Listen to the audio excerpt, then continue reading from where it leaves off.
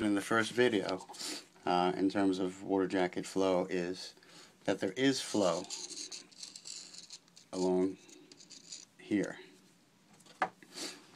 So water does flow along this side of the uh, pistons. So, so there's water flowing straight through here and then going in through here. Um, no water flow.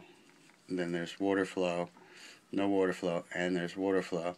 So once it reaches, you know, the manifold side, then water is pushed up into the head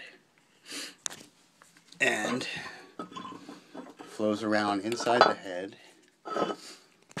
and exits through the thermostat housing.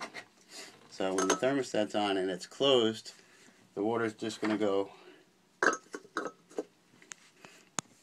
directly through this T-fitting, through the bypass, and then out through the manifold. Once the engine warms up, thermostat opens, the path of least resistance. Um, if you have a way to control the bypass loop, the path of least resistance is going to be through the block. So then the engine will start to get cooled. Um, and then obviously exit up through here, in through here, and out through this little hole here.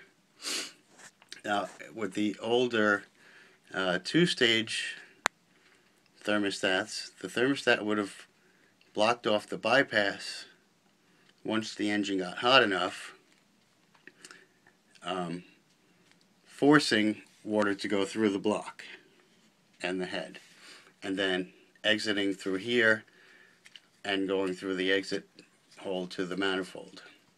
Um, with the single stage, there is no blockage of the bypass anymore.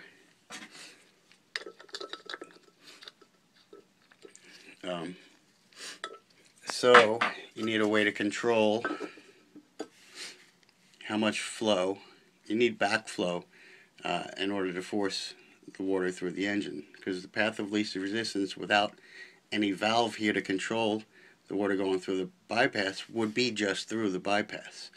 So with the single stage, um, you have to have a way to control the flow through the bypass in order for there to be flow through the engine to cool the engine.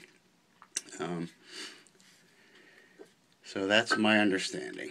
Now I have the spacer kit where there would be gasket, thermostat, spacer, then housing. Um, and I have uh, the backflow regulator with the uh, with a control valve to control the water flow through the bypass. So that's my understanding.